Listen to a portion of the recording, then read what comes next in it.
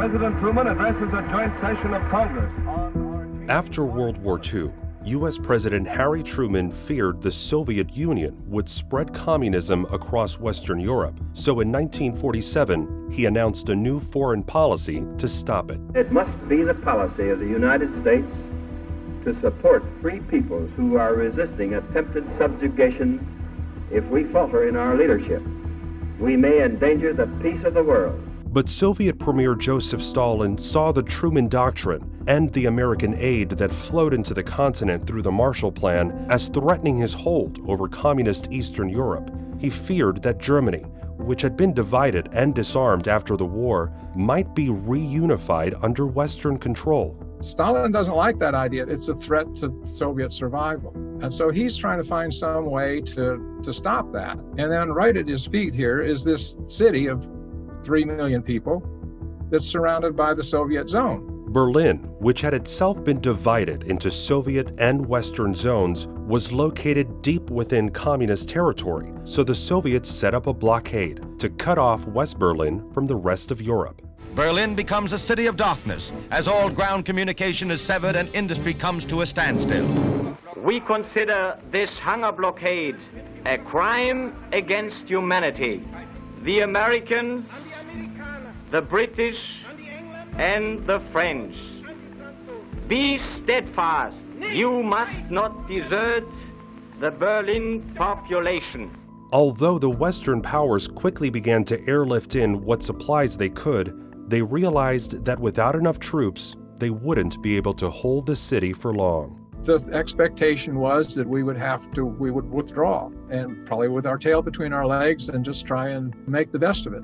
So the airlift sort of begins as a, an improvisation attempt to buy some time, an attempt to, to reassure the Berliners. Gail Halvorsen was one of the American pilots who volunteered to airlift food into Berlin.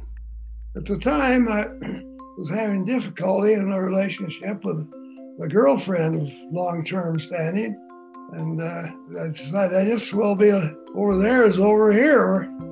One day, after landing in Berlin, Halvorsen started talking to a group of German kids standing at the fence line. I went over a little ways uh, to meet the kids. I was impressed with them. 10 plus or minus two years old, and they just to say, hey, uh, we, we, don't want, we don't want to go to the Soviets. We'll do anything. Just don't give up on us kids that age, knowing the importance of free agency, the ability to govern yourself. They said, just don't worry about us. Someday we'll have enough to eat.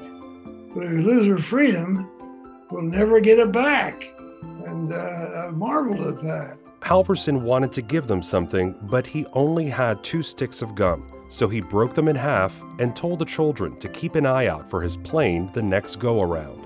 Well, I knew what it was like to be cut off and uh, to be out on the end of the string. And so I, it was just a no brainer to, to drop know, chocolate bars to the kids in West Berlin that didn't have any.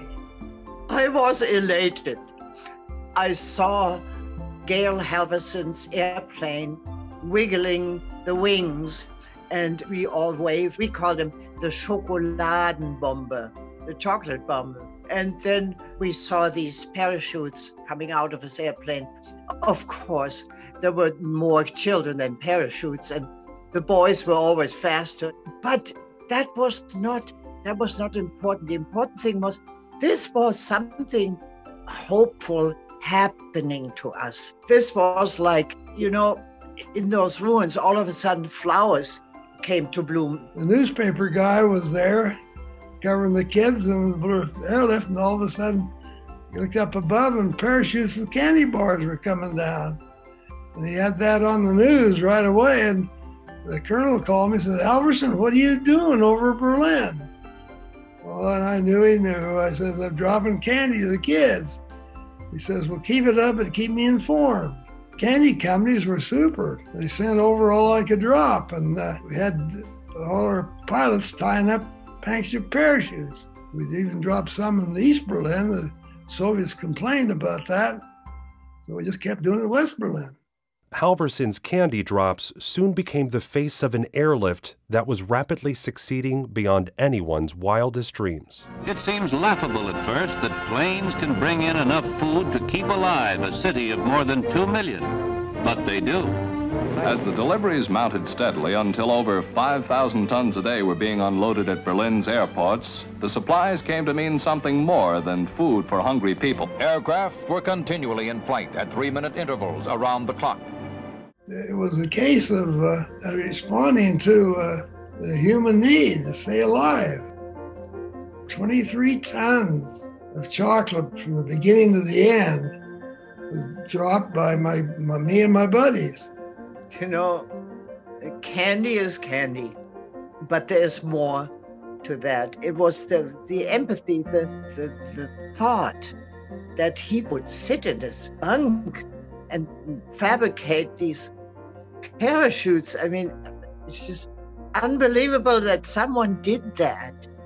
Halvorsen and the other pilots of the airlift had helped Truman avoid either retreat or war and pushed Stalin into a corner. Stalin in March of 1949 realized that uh, he had a losing hand. Uh, he hoped to take over West Berlin, and that didn't happen. He hoped uh, to uh, stop the move toward a West German government and a, an independent West Germany, and he lost on that. The last thing he wanted was a, a U.S. alliance with Western Europe, and that's what he got with NATO. So he was losing on all grounds. NATO became the defining alliance of the Cold War and has continued to shape relationships between countries today. The United States is fully committed to our NATO alliance. An attack on one is an attack on all.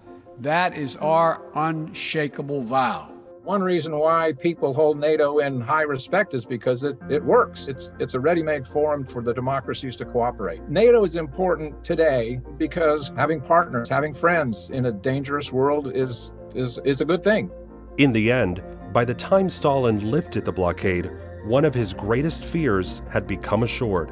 American popularity had soared across the globe. Americans look at themselves as, you know, the saviors of the free world, but it, it may be that right here, we really earned that in the sense that we saved this city. We did it out of sort of strategic or geopolitical considerations, but there was a strong humanitarian element to what we did.